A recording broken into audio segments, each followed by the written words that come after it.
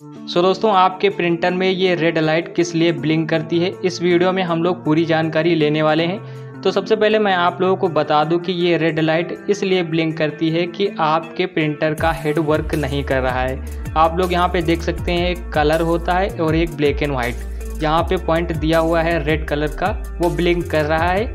आप लोगों को बता दूँ कि आपके दोनों हेड यहाँ पे डिस्प्ले पे पॉइंट देख सकते हैं। दोनों हेड काम नहीं कर रहे हैं, या फिर आपका हेड सही से लगा नहीं है, या फिर वो वर्क नहीं कर रहा है। तो आप लोग इस प्रॉब्लम का सल्यूशन कैसे पा सकते हैं, इस वीडियो को पूरा देखना होगा तो आपको अपना सल्यूशन मिल जाएगा।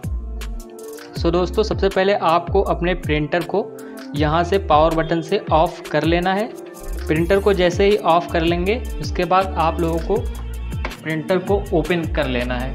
जहाँ से जो ओपन किया जाता है, आप लोग जानते होंगे, जहाँ हेड लगे होते हैं, वहाँ से ओपन कर लेना है। आप लोग यहाँ पे देख सकते हैं, ये हेड लगे होते हैं। ये कलर का है, यहाँ पे देख सकते हैं, ये कलर का हेड है और ये ब्लैक एंड वाइट हेड है। तो यहाँ से हेड को बाहर निकाल लेंगे। आप लोग यहाँ पे देख सकते हैं, अभी आप लोगों को साफ़ दिखाई दे रहा होगा।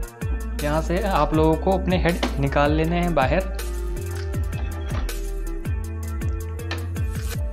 साफ़ जगह पे आप लोगों को हेड को रखना है बाहर निकाल कर अभी हमने दोनों हेड निकाल लिए हैं। आप लोग यहाँ पे देख सकते हैं। हेड को बाहर कर लिया है।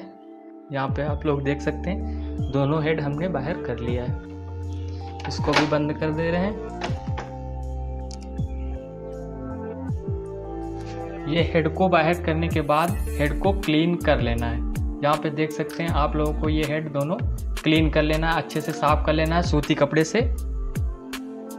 स्क्रैच आप लोगों को नहीं देने हैं, आराम से बिल्कुल साफ़ करना है। चलिए हम साफ़ कर लेते हैं इसको। अच्छे से साफ़ करने के बाद आप लोगों को फिर से अपना प्रिंटर ऑन कर लेना है। आप लोग यहाँ पे देख सकते हैं, अब आप लोगों को फिर से अपने हेड यहाँ पर लगा देने हैं।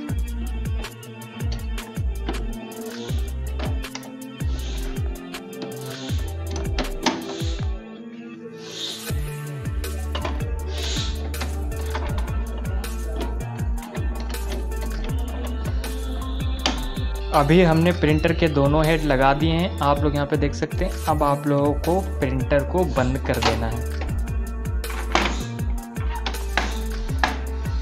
बंद करने के बाद अभी पावर बटन को ऑन कर देना है।